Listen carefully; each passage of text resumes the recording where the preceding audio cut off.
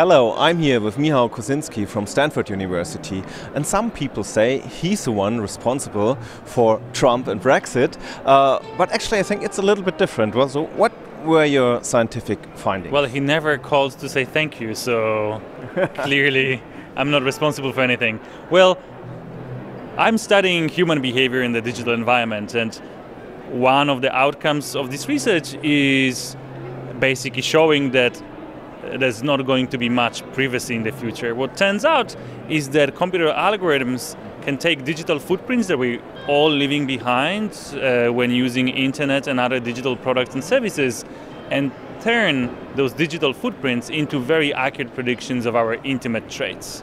So, you know, when you go to Lady Gaga website or listen to her songs all the time, you don't need a rocket scientist or an algorithm to figure out what is your musical taste. But it turns out that one can analyze your music playlist and predict from it your political views, your psychological traits, your sexual orientation, and many other uh, intimate uh, traits. Wow, that sounds very interesting, and we're looking very forward to having here you here. Thank you very much. Thank you. It was a great pleasure.